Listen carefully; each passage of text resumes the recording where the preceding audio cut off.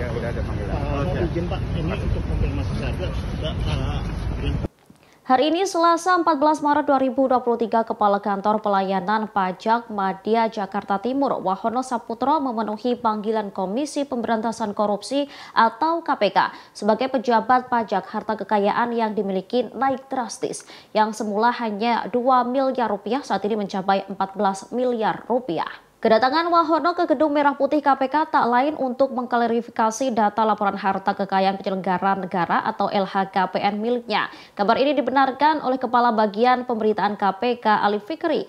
Nama Wahono mencuat setelah nama istri yang tercatat sebagai pemegang saham pada perusahaan yang juga dipegang istri mantan pejabat Direktorat Jenderal Pajak Rafael Aluntri Sambodo. Saat diperiksa, Wahono sudah 10 kali melaporkan harta kekayaannya ke lembaga anti rasuah. Laporan harta pertama kali dilakukan pada 18 November 2011 saat menjabat sebagai pemeriksa pajak di Direktorat Intelijen dan Penyidikan DJP. Saat itu Wahono Saputro mempunyai harta kekayaan sebesar 2,8 miliar rupiah kemudian naik menjadi 3,8 miliar rupiah saat menjabat sebagai Kepala Bidang Pemeriksaan Penyidikan dan Penagihan Pajak Kanwil DJB Banten pada tahun 2012.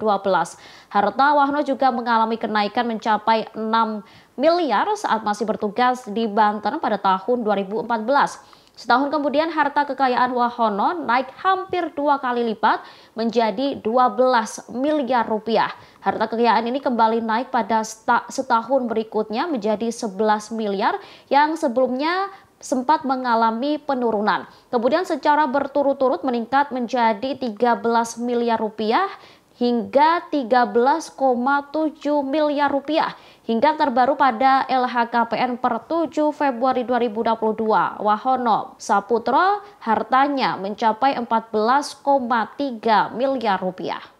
Terima kasih sudah nonton. Jangan lupa like, subscribe, dan share ya.